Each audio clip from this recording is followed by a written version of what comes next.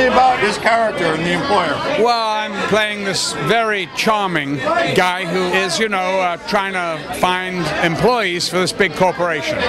But but he has a nasty side to him, of course. Hence, they cast me. This was Frank Merle's uh, feature film directorial debut. How was your experience with him? Amazing. I don't know what Frank is like in other projects, but in this one, he kicked some real ass. He is an actor's director in the sense that the way he speaks to us, speaks to us, the way he directs us, he knows how to talk to us so that we understand him. So if he gives me a note, I know exactly what he wants. I know exactly how to do it because he, he speaks our language. How was your experience on set? Amazing. Frank Frank was an amazing director. He wrote an amazing script. The cast was wonderful to work with. And his, and his uh, correct me if I'm wrong, I believe his uh, feature film directorial debut as well. How was that? I, think, well, I haven't seen it yet, but my fingers are crossed. He did an amazing job when we were working together, so uh, it should come out great.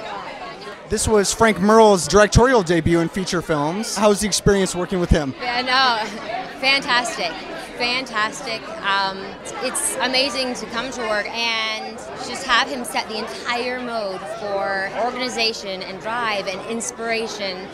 He just, he was fantastic and so generous, just such a generous, generous director. Malcolm enjoyed every moment of working with him.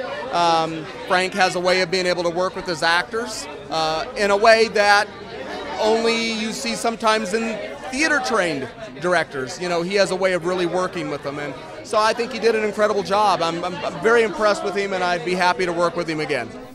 Anyway, you know, it's been a fun ride for me. I've got some great stuff coming up, so I'm, I'm uh, excited by it. And, uh, you know, Frank did and the cast were fabulous, I think. They really were. You know, I, I sort of came in as a kind of gunslinger at the end and wondered what the hell it was all about. and uh, but but I must say I, I enjoyed it tonight, and I thought I thought these guys did a great job, and, and uh, Frank was uh, wonderful and, and very uh, pleasant to work with. Fun for me anyway.